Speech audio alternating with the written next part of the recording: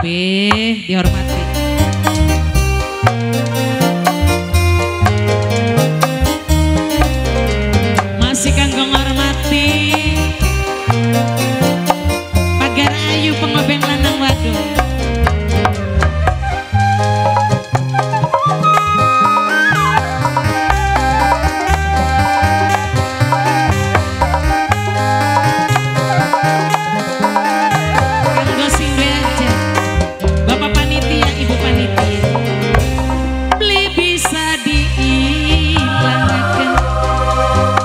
baik gemar Perasaan sung keganggu.